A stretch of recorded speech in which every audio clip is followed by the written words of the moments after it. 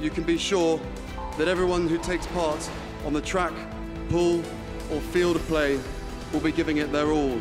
The Invictus Games isn't just an inspiring sporting event featuring athletes from all over the world. It's part of a journey on a road to recovery.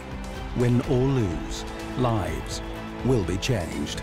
I am Invictus! The Invictus Games from Orlando, Florida. Exclusive coverage on BBC One.